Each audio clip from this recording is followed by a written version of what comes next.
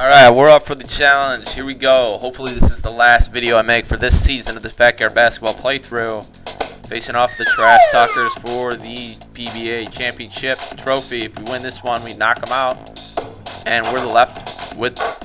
And the league is left with us being the last one standing. So let's get going with this one. Starting lineup is set. Game 3 will commence. We are away once again. And hopefully this one is the last one. So didn't get the tip. Uh, it's not really a tip. I guess it's more of a jump. And they come out guns a-blazing, it looks like. Knocking in their first attempt of the game. Knocking down their first three, I think, of the series. I think they... No, they don't, I'm not sure if they've been starting lineup or not. Uh, and that is... We're still not taking the lead yet, but two points right off the bat. Jocinda with the steal. Jocinda with the George Gervin finger roll from the block. You know, I kind of like my gravy a little bit lumpy, though. And that's a steal by Stretch. Try to work it in the post for him. He's going to take it. He pulls up, knocks it in. Spreading the ball today. All three players, three baskets. One for each, that is. Knocked away by Stretch. No foul. Jocinda pops right after the steal. No good. This guy's not outrunning Vicky Kawaguchi. No siree. And somehow we have the empty benches again. Our, our teammates just, you know, they don't believe in lack of, and I can never hit that shot from the steal on the left block. I just have no depth perception whatsoever. And Vicky Kawaguchi with the steal. So yes, backyard hockey will be coming up soon.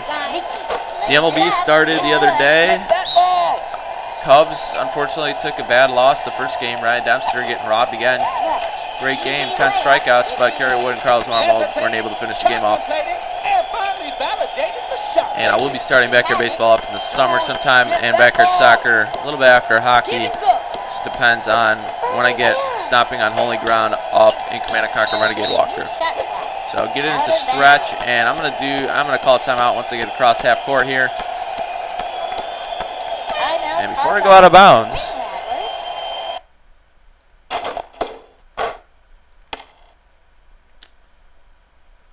and Ahmed playing down low. That's kind of a strange sight to see, but see Justin, we're gonna have to make. Ahmed Khan pulls up the set shot, nothing but net.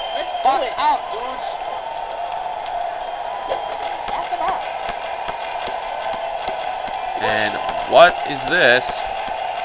Driving all the way? Maybe? No Jocinda Smith on the court. We just lose our glue. And that's an overthrow by Vicky Kawaguchi. You don't see that often. That is not a three-pointer. They vaulted, I guess, over the three-point line back into pretty three-point line distance, but I guess that counts. Does.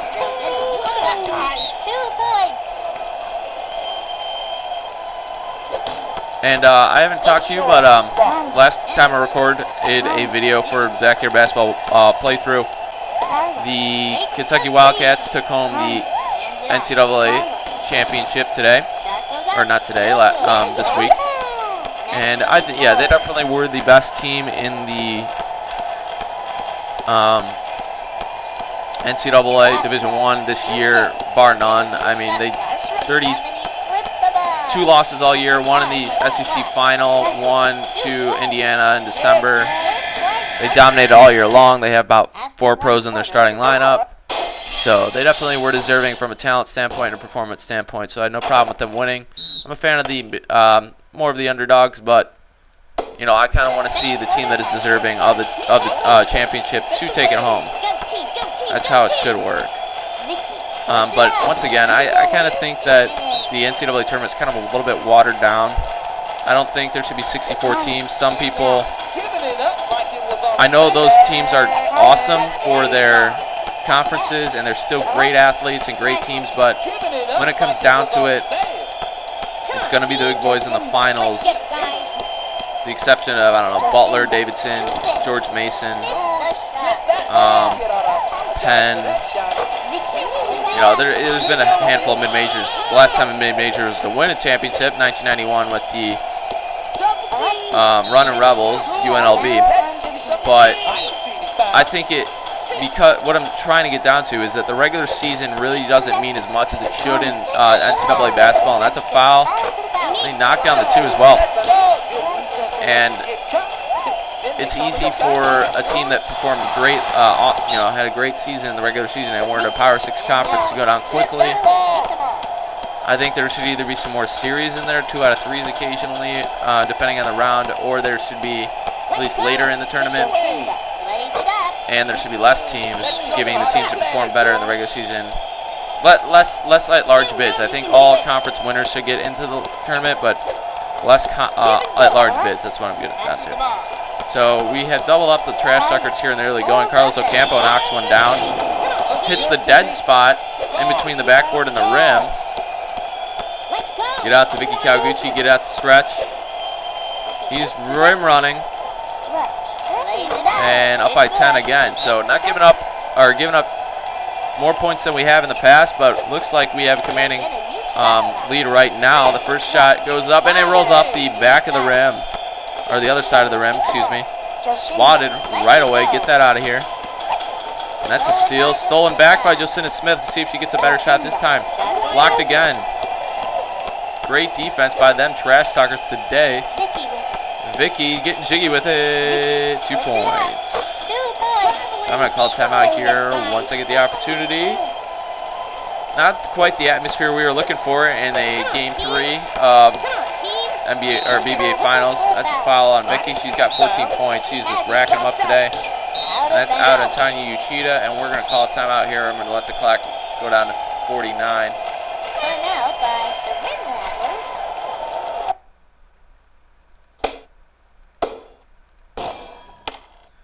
And I don't know what it is, but Vicky Kawaguchi's really got the energy today. My other players are wheezing a little bit, and that's a, not a good pass by the baseball star, Stephanie Morgan. He's got one assist on the day. Pass into Carlos Ocampo. In traffic, Vicky Kawaguchi dribbles it out. Stephanie Morgan's ahead on the break. She's going to have two points for herself. No! One of the only times this year that a layup, those for sure layups go off the rim. And that's two points on the other end for the Trash Shark. It's a four-point swing right there. So I'm going to try to make up for that. Stephanie Morgan get in the mix.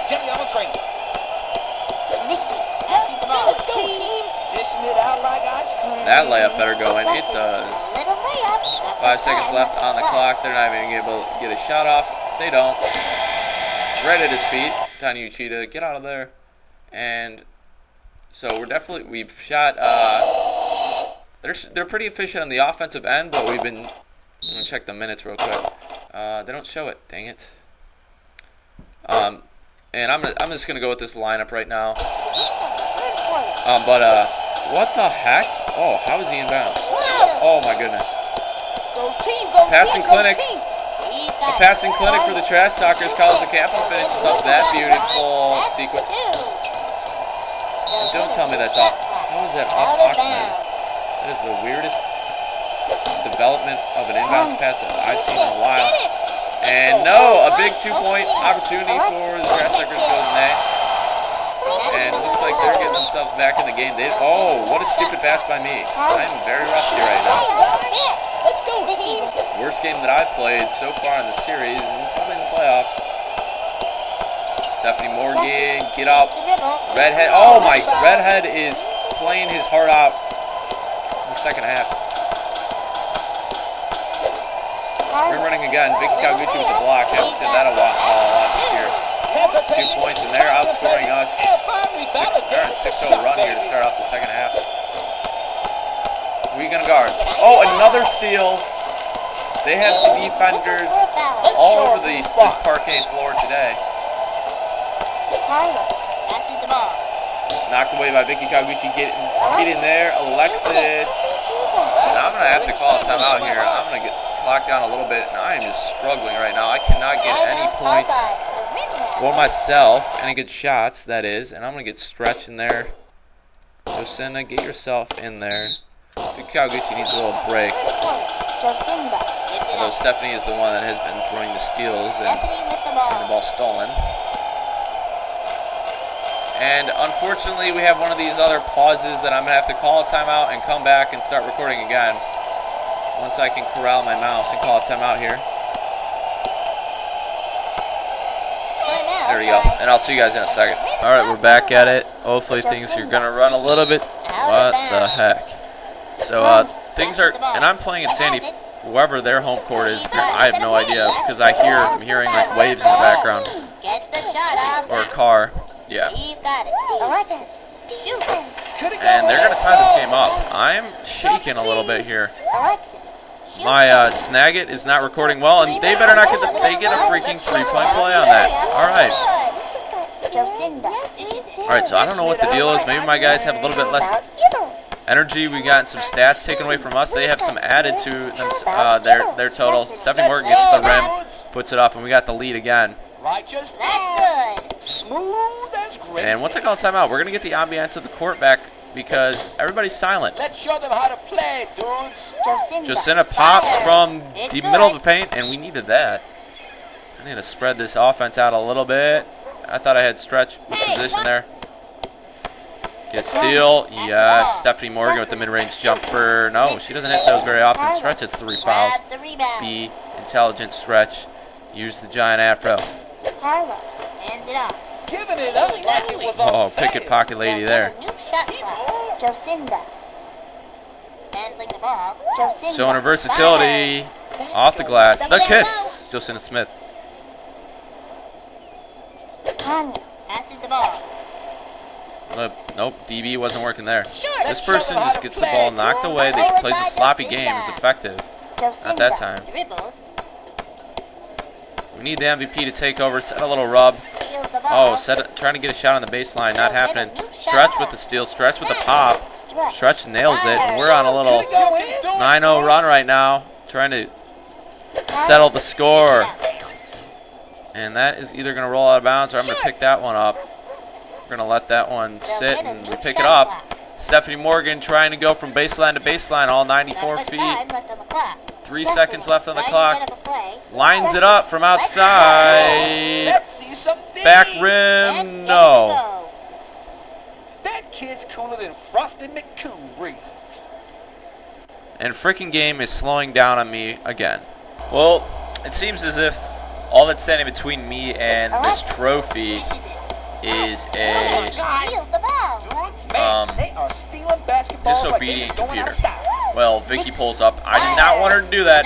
She pulls up from short and is short. Oh, but gets the steal. Gets stolen from her right away. They're fighting. They're clawing. I thought I was gonna get a sneaky steal there. Did not pull it off. Oh my gosh! Second time this game that's happened. New shot clock. Alexa. Own rebound, puts it back in. Alexis Weiss. No need. Oh my goodness. She's got paws. Stealing basketballs like they was going out of style. Took one out of your book, Barry DeJay. Snatched away from Jocinda, and if they make that, they've taken the lead. Scary to think that. Oh, but. Vicky's here. So is Ahmed, who catches that cleanly. Are you scared me for a second? Take the lead again. I don't like this ambiance. It's not helping me out, and This could- Jocinda can get a shot up. Thank you. I mean, it is kind of disconcerting seeing how we're playing right now. Not playing too great. Thankfully, it's the last game that we're going to be playing. Through this playthrough. I don't have to keep up that streak of great games. Oh. Ahmed. Rim running. Not really. More like cherry picking. Now we got a five point lead, and it's getting awfully dicey for them, but this is ain't. And now it's time to just stall. Stall the clock. Kill the clock. Eat the clock. Carlos Ocampo is a beast, though. I got to check out his steals, his defense. Dials it up from downtown. 4 3. No good. That's a long rebound. Oh, 75% of the shots that are taken from one side of the rim will rebound off the back of the uh, will rebound off the rim and go the other direction, as we saw there.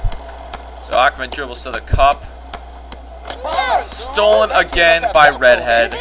I've had enough of you, and they're gonna draw within one. Alright, so at 48, 58, I'm gonna time out and take our last time out of the season, hopefully. And we're going to put in stretch, even though I don't want to. And two ball handlers. Put uh, Stephanie at the point. She's got a little bit more juice in her tank. Risky pass down low. And that's too high for Stephanie Morgan. Get it into Carlos Ocampo. And stolen by stretch. Alexis Weiss, great defender, pushing stretch toward the sideline. Stephanie Morgan, if we can knock this one in, Come on. could pass. seal the victory, seal the fate. And she lays it in, three-point Go lead. team, go team, go team. Set it up. Pass to on the himself. Carlos Ocampo with 20 points. Doesn't come through there, and we can almost hold for last shot. They would have to hit a 80-footer if they get a rebound, get the ball away from freaking Carlos Stephanie Ocampo. Get it into stretch. Get that away from Redhead. Three point lead with 12 seconds left on the clock. We don't have to take a shot. Vicky Kawaguchi scaring me. Five seconds. Four seconds. Three seconds. Two. One. And that's it. Vicky takes a victory lap around the court, and the Rim Rattlers are going home with the BBA Championship Trophy.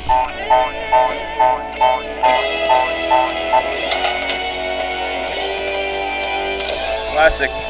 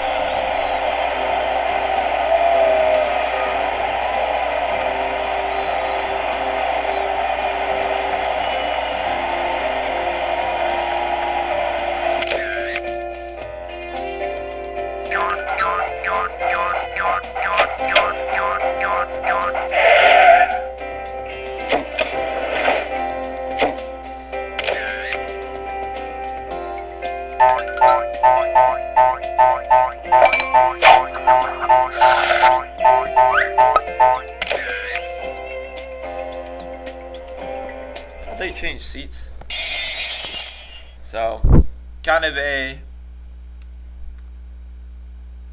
I don't know, sentimental video there.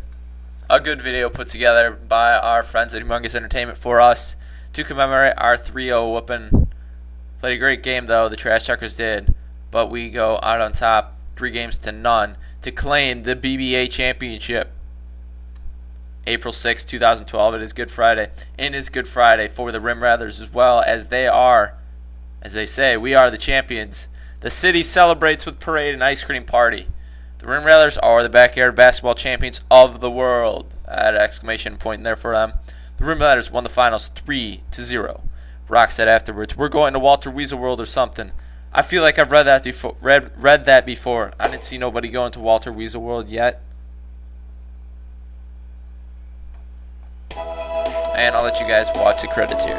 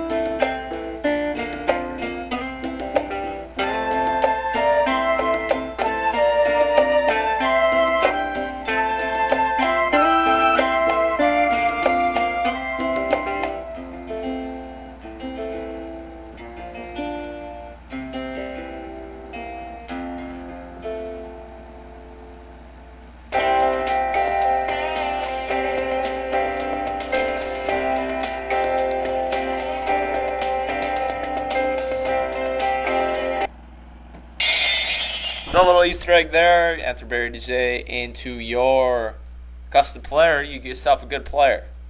Figure it out, just like Thor Herring. So if we look into the trophy case, might as well before we end this playthrough to commemorate all we've done. It is ended with styles. We take home the splendiferous basketball championship of all backyards ever here on April 6, 2012. So thank you guys for sticking with me all the way through these 25 games that we played. We got knocked off once in the regular season by the Chuckers, buzzer beater by big old Keisha, but that didn't hold us back from taking home the ship. So thanks for watching once again. Hope you guys had fun. I will be doing Backyard Basketball 2004 season playthrough next year when basketball season rolls around again. Stay tuned for some more backyard action. Uh, right away, I'll be going with backyard hockey, followed by backyard soccer, and then backyard baseball um, sometime in June. So look forward to that, and thank you guys again for watching the season playthrough. See you later.